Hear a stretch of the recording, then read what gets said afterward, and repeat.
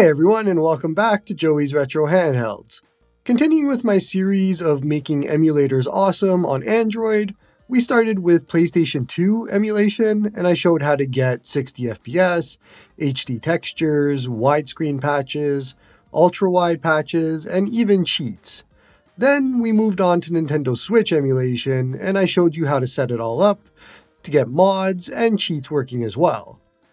Now we're back with GameCube and Wii emulation with Dolphin, and we're going to be looking at HD texture packs, widescreen, and cheats. I'll be using the Dolphin dev build for this video, which you could get from the Google Play Store by joining the beta that's on that page. My device of choice for this video as well is going to be the AYN Odin 2. Like before, I wouldn't call this a beginner's tutorial by any stretch of the imagination, and you'll need to have some familiarity with Android, Dolphin, and computers as a whole. But I'll do my best to make this easy for you, and I'll leave links in the description to everything that I talk about.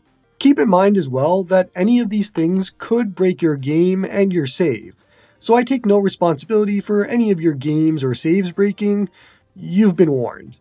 First up is HD texture packs, and you could find a whole bunch of them on the Dolphin emulation forums. There's a huge list of games there, and each thread is different, with different instructions on how to do it. But the general idea is all the same. So let's use Paper Mario The Thousand Year Door as my guinea pig for this video. Go ahead and download the texture pack from the link in the first post, you can see it there labeled DDS Resource Pack, and it's recommended.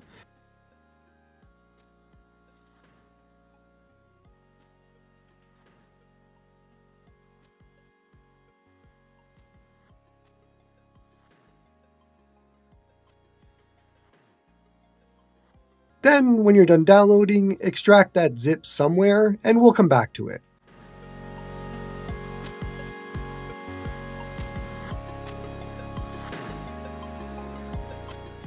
On your Android device inside of Dolphin, head to Settings, Config, User Data, and Export User Data.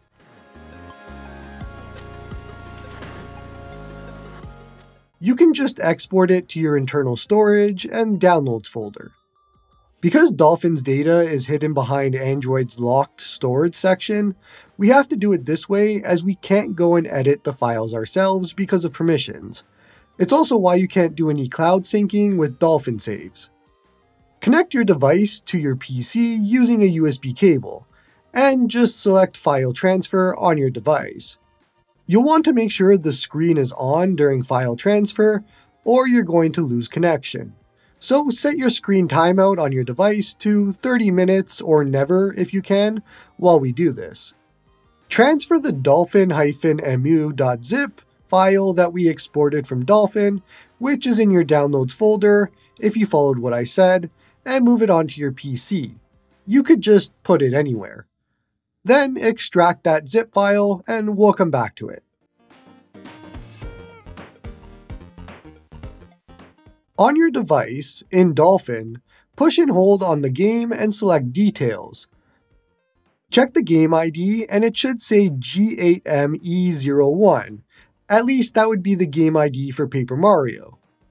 Open the texture pack unzipped folder, inside textures, and make sure the game ID matches.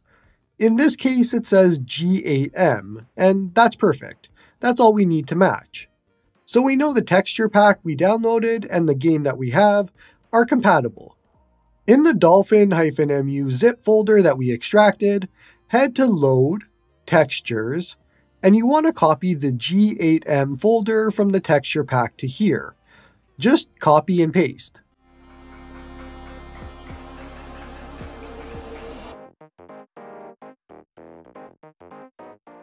Now we have to recompress all of this back into a zip file.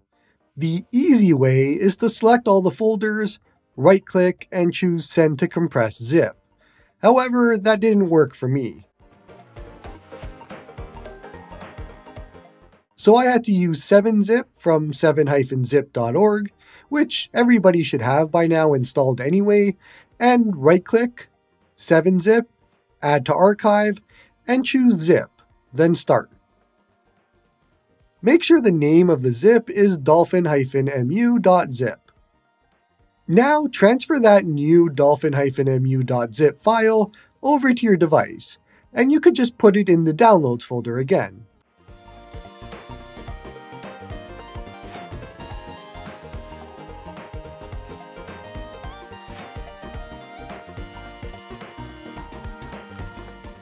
You're fine to overwrite the original dolphin-emu.zip if it's still there. You can disconnect from your PC as well after that's done. Open Dolphin and then head to Settings, Config, User Data, and Import User Data. Select the new dolphin-emu.zip file that we moved over, and it should load in.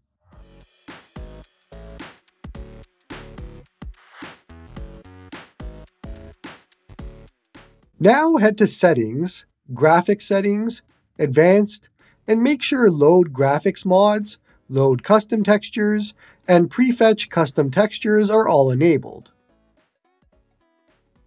Then we need to change the game from OpenGL to Vulkan if it isn't already. And the reason why is because DDS resource packs only work on Vulkan. So just push and hold on the game and go to Edit Game Settings, then Graphics, and then change OpenGL to Vulkan, and this will only apply to this specific game since we did it through Edit Game Settings. Open the game, and you'll see that it says Custom Textures loading in the top left, which is how you know that it worked. Well, besides the obvious visual differences. There's two ways to do widescreen hacks on these devices. There's the bad way and then the good way. The bad way is just enabling widescreen hacks in the graphics settings in Dolphin, as it even tells you that it'll break graphics and UIs of some games, so we don't want to do that. The good way is using AR and Gecko codes to do that work for us, since they don't have that issue, and thankfully it's not that difficult to do. Head to the Dolphin wiki page and find the game that you want to add widescreen to. In this example, I'm going to use The Legend of Zelda Twilight Princess. I don't believe that every game has a widescreen code, so just keep that in mind. In Dolphin, make sure that you have cheats enabled, and that's in Settings, Config, General, Enable Cheats. Push and hold on a game and then select Edit Cheats, and you should see a whole bunch of cheats already there.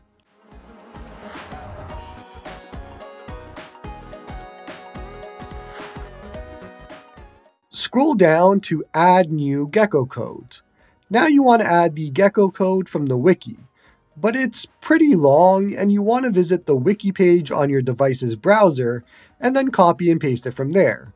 That's how I would do it and it's the easiest way. Add the code in to Dolphin, and you can name the code whatever you want, but I figure that widescreen 16 by 9 is a good thing to remember. Now for me, the screen kept closing, but don't worry, every time you click add new gecko codes, it should remember where you left off and you should be right back to what you were doing. Now here comes the fun part. You might be lucky and you could click save and off you go, and it all works. But for me, it never did.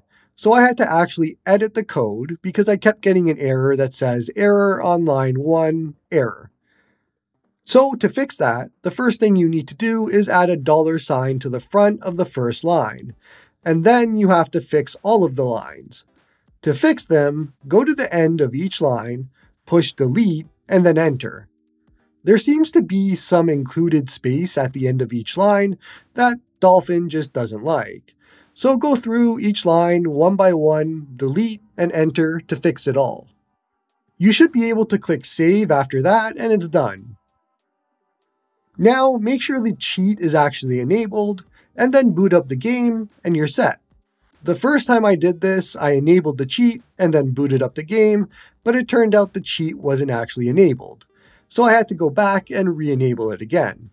Just a heads up in case you run into that issue as well, but either way, if it's actually enabled, the game will be using 16 by 9 perfectly, and it's widescreen. This is awesome. One more note pay attention to the instructions on the wiki page.